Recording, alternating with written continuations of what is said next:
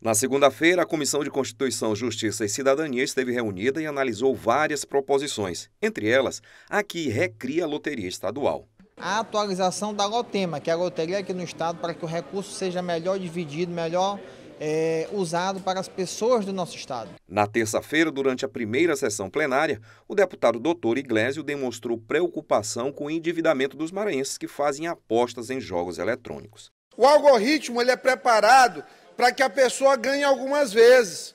Só que depois a pessoa começa a perder. Perder, e aí o que, é que o cérebro humano faz?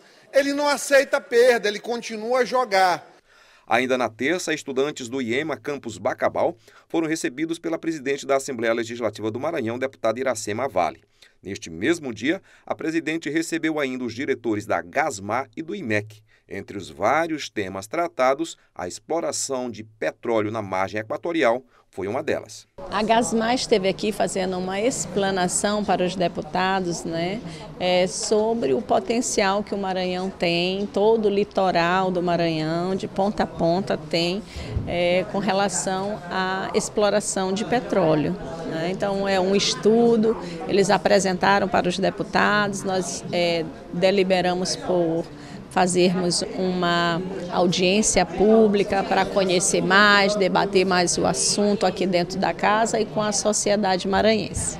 Ainda na terça foi assinado o termo de cooperação técnica entre a Frente Parlamentar de Combate à Pobreza da Assembleia Legislativa do Maranhão e a Universidade Federal do Maranhão. Com muita satisfação que nós recebemos aqui o vice-reitor Marcos Fábio, que vem representando o reitor Natalino Salgado, para, neste processo de cooperação técnica, nós evoluirmos e levarmos cada vez mais substância, mais informação para esse relatório final da Frente Parlamentar de Combate à Pobreza do Maranhão. Na quarta-feira, durante a sessão ordinária, o deputado Wellington do Curso tratou de segurança pública e chamou a atenção para a valorização dos policiais militares.